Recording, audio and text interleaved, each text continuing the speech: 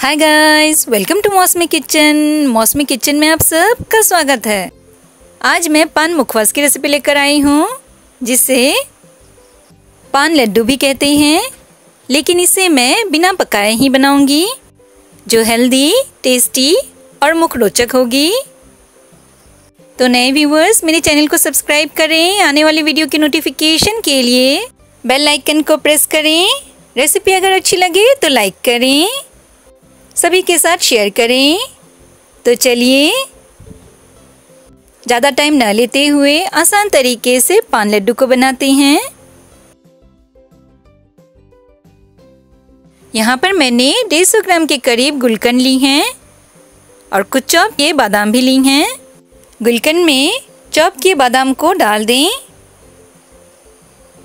अब दोनों को अच्छी तरह मिक्स कर लें। पान खाने वालों के लिए तो ये लड्डू भा जाएगी।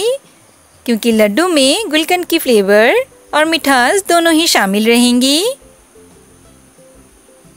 तो बस, अब ये अच्छी तरह मिक्स हो गई हैं। तो साइड में रख दें इसे। यहाँ पर करीबन छः से सात पान के पत्तों को धोकर ले ली है मैंने। अब एक चॉपिंग बोर्ड लें। पान के पत्तों को इकट्ठा कर रोल कर लें। अब एक चाकू से रफली चॉप कर लें। ये पान के पत्ते तो मेरे बागीचे की ही है, जिसे मैं इसी तरह की डिशेस बनाकर यूज़ करती हूँ। तो ये देखिए पीसेस में कट हो गई हैं ये। छोटी वाली ग्राइंडर जार लें और कटे हुए पीसेस को डाल दें। अब करीबन 50 ग्राम कंडेंस मिल्क डालें। कंडेंस मिल्क में दूध और चीनी दोनों ही होती है तो एक्स्ट्रा चीनी मैं यूज़ नहीं करूँगी। वैसे तो पान की अपनी कलर होती हैं। फिर भी थोड़ी सुंदर कलर आए लड्डू की, इसीलिए एक पिंच ग्रीन फ़ूड करूँगी। अब ढककर बिना पानी मिलाए ब्लेंड कर लें। तो बस, अब ये पिस चुकी है अच्छी तरह, देखिए। फाइनली पिस कर लिक्विड टेक्सचर आई है इसकी, देखिए। अब 200 ग्राम नारियल की बुरादा लेनी है हमें। नारियल के बुरादे को एक मिक्सिंग बॉल में डाल दें। अब हुए पत्तों के मिश्रण को भी डाल दें। इसमें मैं चीनी, दूध या पानी ऐड नहीं करूँगी। अब एक चम्मच से मिक्स कर लें। ताज़ी नारियल हो तो हमें गैस में भून लेनी होती है। फिर इसी तरह से पान के मिश्रण को देकर मिक्स करनी है। चम्मच को रखकर हाथों को यूज़ करें। तो मिक्स अच्छे से होगी और हाथों का प्यार मिश्रण में टेस्ट लाएगी।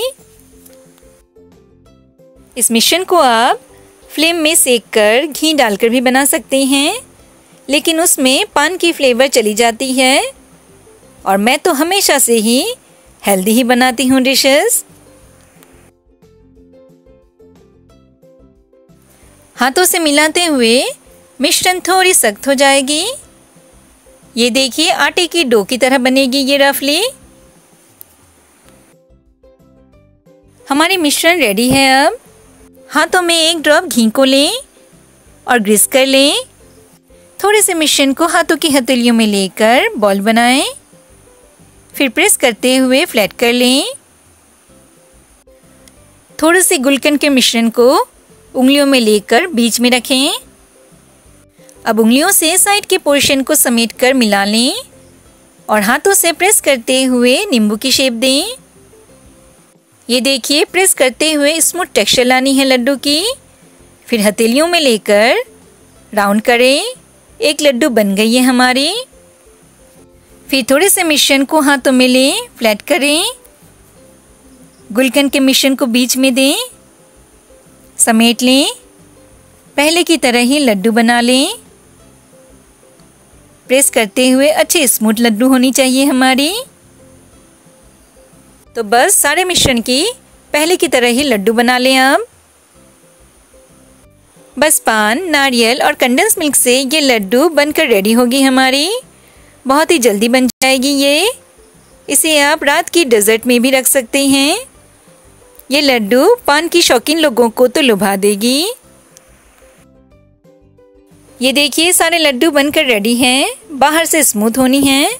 अब थोड़ी नारियल के बुरादा और लें। और लड्डुओं को एक एक करके कोट कर लें, ताकि खाने में तो नारियल का एहसास देगी ये, और बाहर से सुंदर भी दिखेगी। सारे लड्डुओं को कोट कर ली है मैंने नारियल के बुरादा से। दस मिनट फ्रिज में रख दी थी मैंने इन्हें। एक प्लेट को मैंने पान से सजा दी है। अब सर्व कर दें लड्डुओं को। फ्रिज में रखने से अच्छी तरह से सेट हो जाती हैं ये। सारे लड्डुओं को सर्व कर दी है मैंने। दिखने में तो शानदार लग रही हैं। खाने में भी टेस्टी होगी। तो बस अब खाने की जल्दी है। एक को तोड़कर दिखाती हूँ आपको। ये देखिए। अंदर की गुलकंद की मिठास मन को लुभा रही है। आप भी इसी तरह से पान के लड्डू को बनाएँ और सभी को खिलाएँ। मेरी ये रेसिपी आपको कैसी लगी, अपने व्यूज़ कमेंट करें। अगर रेसिपी अच्छी लगी हो तो लाइक करें, सभी के साथ शेयर करें। मेरे चैनल को सब्सक्राइब करें, आने वाली वीडियो की नोटिफिकेशन के लिए बेल आइकन को प्रेस करें। थैंक्स फॉर वॉचिंग गाइस नई इजी और हेल्दी रेसिपीज़ लेकर जल्द मिलेंगे।